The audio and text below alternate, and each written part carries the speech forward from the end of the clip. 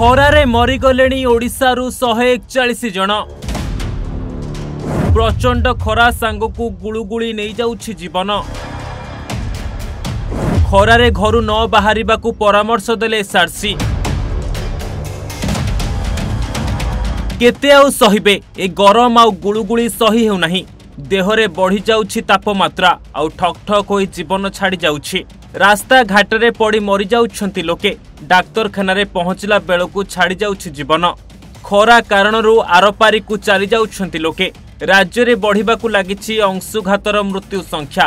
ଏପର୍ଯ୍ୟନ୍ତ ରାଜ୍ୟରେ ଶହେ ଏକଚାଳିଶ ଜଣଙ୍କର ଖରା କାରଣରୁ ମୃତ୍ୟୁ ହୋଇଥିବା ଅଭିଯୋଗ କରାଯାଇଛି। ହଁ ଆଜ୍ଞା। ରାଜ୍ୟରେ ଲାଗି ରହିଛି ପ୍ରବଳ ଗ୍ରୀଷ୍ମ ପ୍ରବାହ। ପଶ୍ଚିମ ଓଡ଼ିଶାରେ ଅସ୍ୱାଭାବିକ ଭାବରେ ବଢ଼ିଯାଇଛି ମୃତ୍ୟୁ ସଂଖ୍ୟା।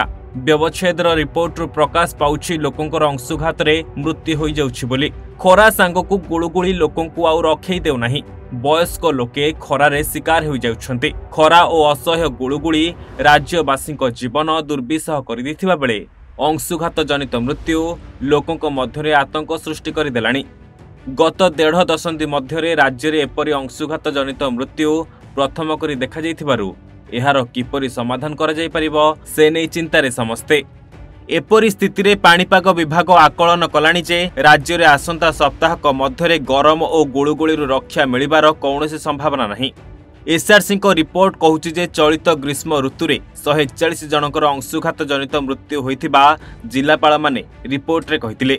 ଏଥିରୁ ଚଉତିରିଶ ଜଣଙ୍କର ଶବ ବ୍ୟବଚ୍ଛେଦ ରିପୋର୍ଟ ଆସିଥିବା ବେଳେ ଛବିଶ ଜଣଙ୍କର ଅଂଶୁଘାତରେ ଏବଂ ଆଠ ଜଣଙ୍କର ଅନ୍ୟ କାରଣରୁ ମୃତ୍ୟୁ ହୋଇଥିବା ସ୍ପଷ୍ଟ ହୋଇଛି।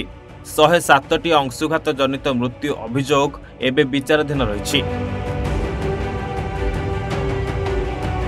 অপরপক্ষে গত বাস্তরি ঘণ্টা মধ্যে বিভিন্ন জেলায় অনশত জনকর অংশুঘাতরে মৃত্যু হয়ে জেলাপাল মানে জনাই বেড়ে এর কোড়িয়ে জনকর অংশুঘাতরে মৃত্যু হয়ে শব ব্যবচ্ছেদ রিপোর্ট ও যুগ্ম তদন্ত পরে স্পষ্ট হয়েছে দুই জনকর অংশুঘাতরে মৃত্যু হয়ে কুহযাইছে রাজ্যের অংশুঘাত জনিত মৃত্যু বড়ি চাল বেড়ে রাজ্য সরকার পক্ষ সতর্ক সূচনা জারি করা যাইছে କୁହାଯାଇଛି ଯେ ଜରୁରୀ କାମ ନଥିଲେ ଲୋକମାନେ ପୂର୍ବାହ୍ନ ଦଶଟାରୁ ଅପରାହ୍ନ ତିନିଟା ପର୍ଯ୍ୟନ୍ତ ଘରୁ ନ ବାହାରନ୍ତୁ। ଯଦି ବାହାରକୁ ଯାଉଛନ୍ତି ତେବେ ପାଣି ବୋତଲ ଓ ଓଦା ଟାୱେଲ ନେଇ ଯିବାକୁ କୁହାଯାଇଛି।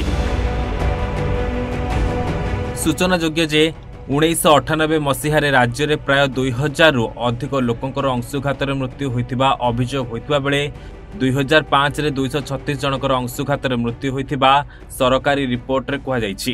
କେବଳ ବେସରକାରୀ ଭାବେ ଏହି ମୃତ୍ୟୁ ପାଞ୍ଚଶହରୁ ଅଧିକ ଥିଲା ଶେଷ ଥର ପାଇଁ ଦୁଇ ହଜାର ନଅରେ ପ୍ରାୟ ଶହେ ପଚାଶ ଜଣଙ୍କର ଏପରି ମୃତ୍ୟୁ ହୋଇଥିଲା ଏହାପରେ ନିୟମିତ ବ୍ୟବଧାନରେ ଅଂଶୁଘାତ ମୃତ୍ୟୁ ହେଉଥିଲେ ବି ଏତେ ସଂଖ୍ୟାରେ ଲୋକ କେବେ ମରିନଥିଲେ ବ୍ୟୁରୋ ରିପୋର୍ଟ ଓଡ଼ିଶା ଭାସ୍କର